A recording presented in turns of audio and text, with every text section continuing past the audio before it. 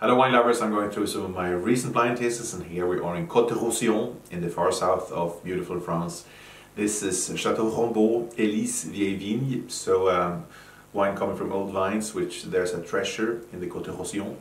And um, it's a wine which is same time modern, it's showing a quite some new oak, some toast on the nose with peppery dark fruit, uh, lovely purity, plenty of dark fruit here. It's a wine with a dense palate. It's still youthful. There's uh, quite a, a, bit of tannin here, but uh, ripe tannin.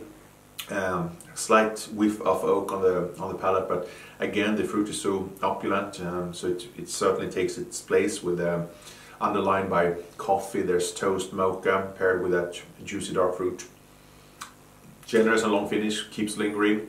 Um, I would say still youthful, excellent potential. Put this back in your cellar for another two to three years and it should gain a lot of complexity and harmony from that.